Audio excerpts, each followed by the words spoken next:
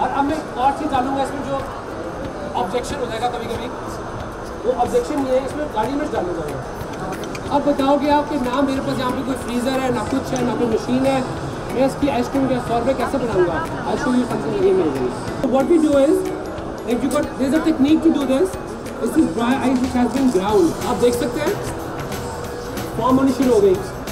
Right अब मैं विस्क के साथ इसको मिक्स कर दूँगा।